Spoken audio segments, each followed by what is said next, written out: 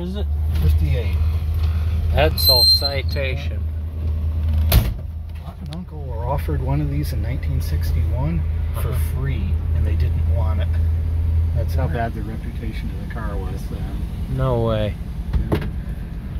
A lot of it had to do with the push button gear shift. They built them at the end of the shift in Ford and Mercury assembly plants, and the assembly line workers kind of sabotage some of them. Now wait a minute. Why would they specifically make it at the end of the shift? Um, Well, I mean, was there a reason? separate parts. Okay. You're going to build 60 Fords an hour, and at the end of the shift, you're going to do five Mercuries or five Edsels. Yeah. I'll be damned. yeah. Brakes work. Oh, yeah.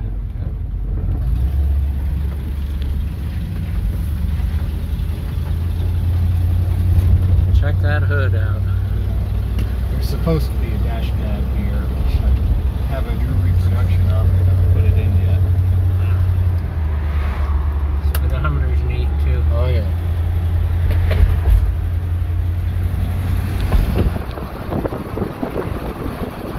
There's the Goodspeed Opera House.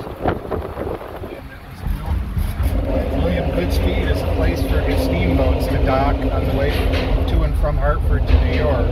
And Hartford was parking their county trucks inside the building. Uh, East Haddam was parking uh, snowplows inside that towards the, the end of its original life. Townspeople formed a committee to save it in 1859, reopened in 63. Their specialty is 1920s uh, musicals. They'll do occasional new shows. Annie originated there, Man of La Mancha originated there, one or two others. And they own all the houses on this side of the street. That's all the housing for the actors. Uh, the brick buildings are the scenery shop, the costume shop. Goodspeed. Oh, yeah.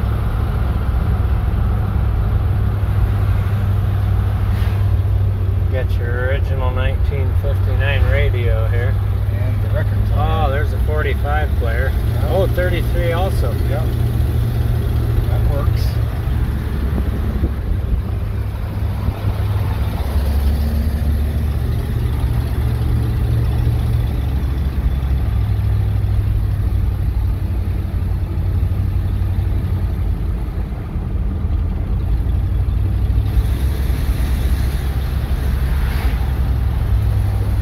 I took this car to work one day, just a normal work day, and they called the engine house on the two-way radio.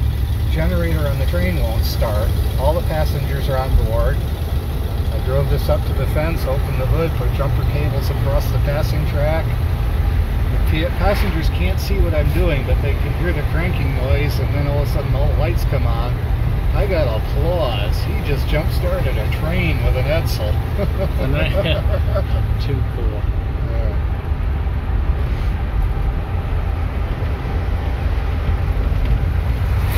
Driven it cross country to quite a few of the Club national beats. Uh, Richmond, Roanoke, Dayton, Batavia, Dunkirk. Uh, the best one was Dearborn. We had 150 Edsels, 450 people. Got to tour the Edsel Ford estate, Henry Ford's son, who the car is named after.